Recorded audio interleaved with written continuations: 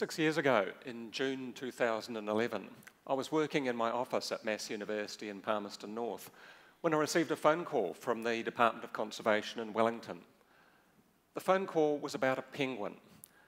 An emperor penguin had arrived at Peka Peka Beach, 70 kilometres north of Wellington. I had experience in working with emperor penguins, and the Department of Conservation was asking me for advice. The next morning, I drove down to Peka Peka I went out onto the beach and was surprised to find television cameras, newspaper reporters, a crowd of people there. The penguin had been eating sand and clearly would not survive if it was left on the beach, so we decided to take the penguin to Wellington Zoo. I was the person who had experience in handling of emperor penguins and was given the task of catching the bird. We caught the bird, took it to Wellington Zoo, the sand in its stomach was pumped out, and over the following days and weeks, the penguin recovered. I was told that the penguin had been given the name Happy Feet, and I thought, that's a very strange name for a penguin. I had never heard of Happy Feet. Whilst Happy Feet was recovering at the zoo, there was a tremendous amount of national and international publicity about the bird. There were strongly expressed views about whether we should take the bird back to the beach, keep it at the zoo, perhaps fly it to Antarctica. We decided to release the penguin in the ocean to the south of New Zealand, and this is what subsequently happened. Clearly, people are fascinated by penguins. Let's explore relationships between people and penguins and our shared environment. There are 19 species of penguins. 15 of these species are found in the New Zealand region, which in the bird world extends from our main islands through the subantarctic islands to Antarctica. Eight species of penguins breed in our region. We have more penguins in the New Zealand region than in any other country. Today, we're going to have a penguin quiz. I'm going to ask you to identify three of our species of penguins. I'm going to transform myself into a penguin. So if you can imagine, I'm shrinking. I'm now this high. I weigh five kilograms. I'm black and white. I live in a very cold place. And my name begins with A.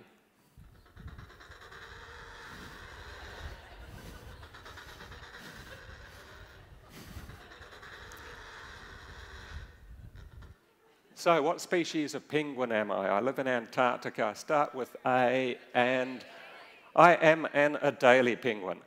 Here are Adelie penguins on their nests of stones at, in, in Antarctica.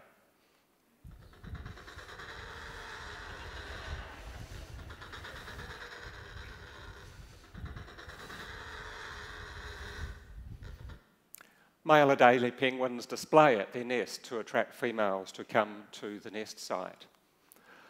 There are millions of Adelie penguins in Antarctica. They are the most common of the penguin species. Now, for our second penguin today, I'm growing in height. I'm now about this high. I'm becoming the largest of the penguins. I weigh 25 kilograms. I also live in Antarctica.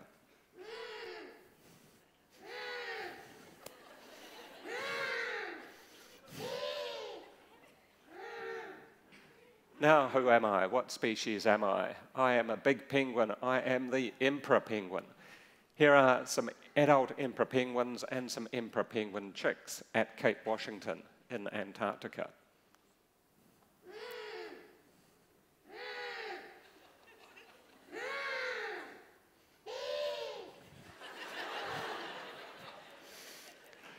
Emperor penguins breed on the sea ice, on the ice over the ocean.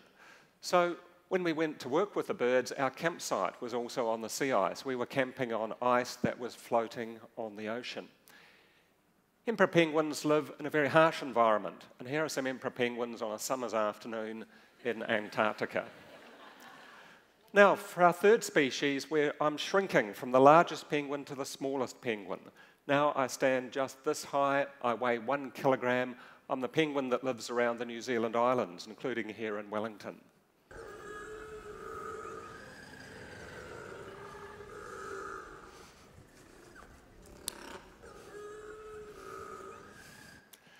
Now I'm a small penguin. I am a small penguin. I'm blue. I'm the korora in Maori, or the little penguin, or the little blue penguin.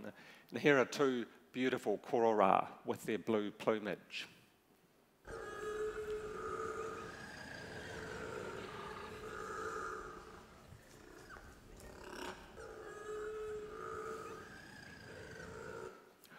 Korora are active on land only at night, so the video was taken with an infrared camera. Similarly, here's a, another picture taken with an infrared camera, a pair of korora outside their nest box. Korora are the Wellington penguin. They nest around the Wellington coastline, sometimes underneath houses. They feed out into the harbour and out into Cook Strait. Korora are classified by the Department of Conservation as at risk and declining. Korora are declining because of loss of habitat due to coastal development, due to predation by mammals such as stoats, and attacks by dogs. Just two weeks ago, a korora was killed on the waterfront by a dog not far from where we are now.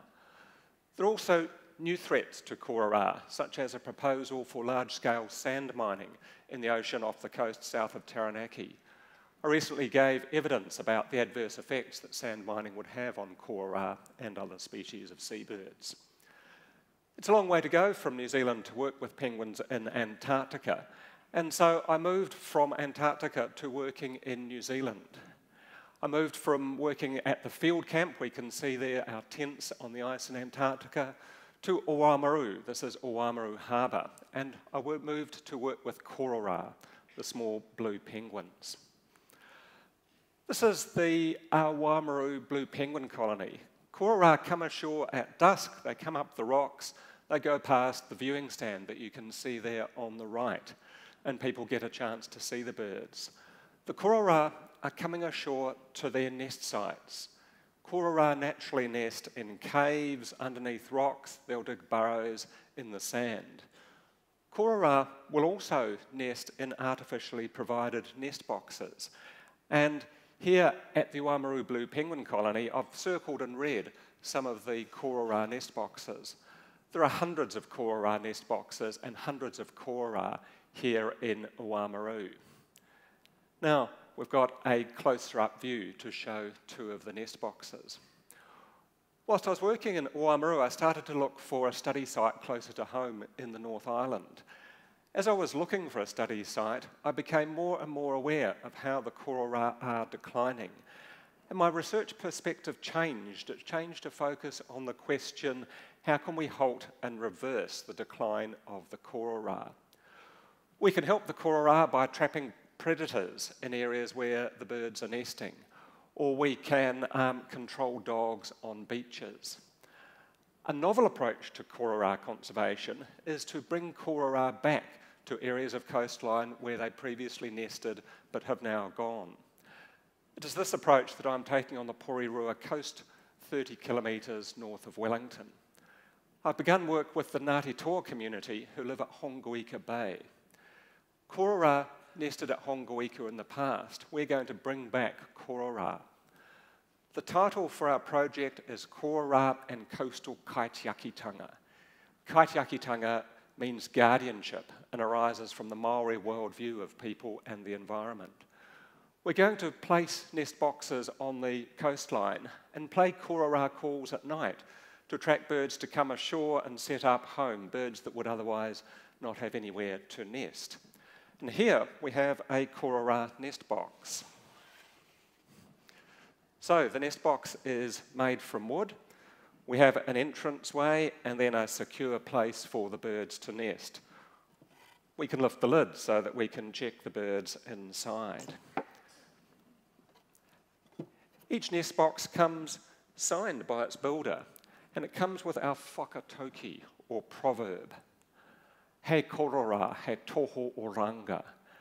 He korora, he tohu oranga. And this means the little penguin is the sign of life. In Matauranga Māori, traditional Maori knowledge, the health of the korora population is a sign of the health of the coastal marine environment. My understanding of kaitiakitanga has grown through reading and through discussion. Patricia Grace is a leading Maori author, and I've benefited greatly from reading her books such as Pōtiki, Cousins, and Baby No Eyes.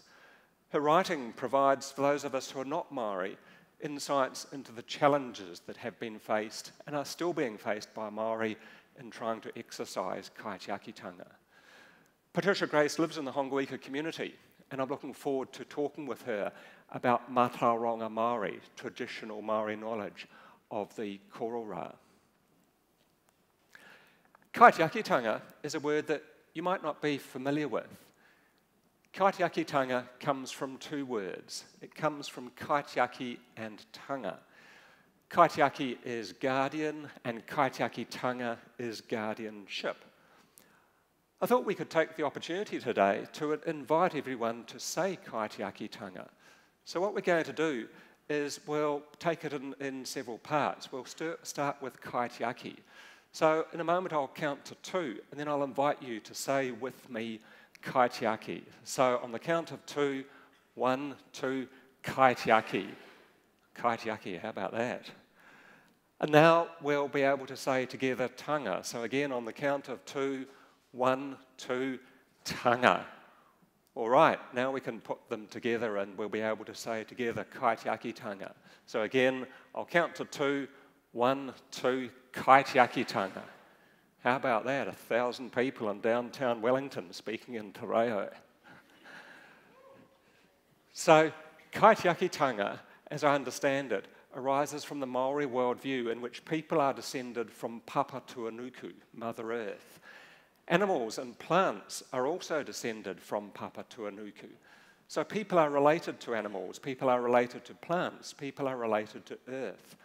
The concept of kaitiakitanga thus arises from a whakapapa, or genealogy, of interrelationships.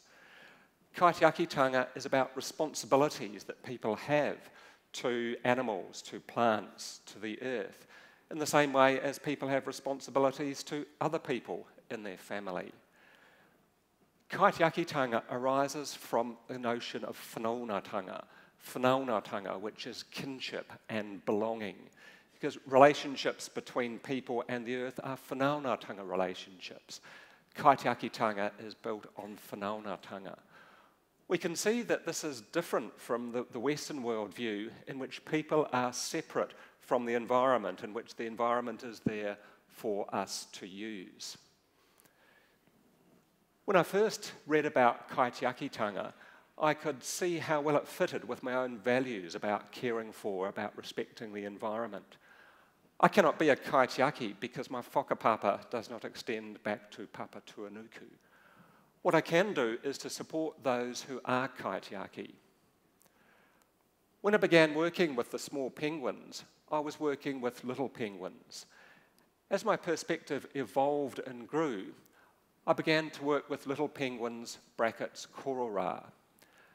As my perspective continued to evolve, I began to work with korora brackets little penguins. In future, I'm going to work with korora, just korora. I've begun the process which will lead to recognition of korora as the official name for the species. Here in Wellington, we have kaka, big green parrots living in the city, and we have little penguins around the coastline. In future, we can have kaka flying in the sky and korora swimming in the water. I've mentioned our project um, Korora and Coastal Kaitiakitanga. Just this week, we've been delighted to receive two years of funding from the Vision Matauranga Fund of the Ministry of Business, Innovation and Employment. We'll be able to put into effect our novel approach of playing korora calls at night to attract birds to come ashore and establish a new population. For me, Penguin conservation is about helping tangata whenua, the people of the land, to exercise kaitiakitanga over their local coastal marine environment.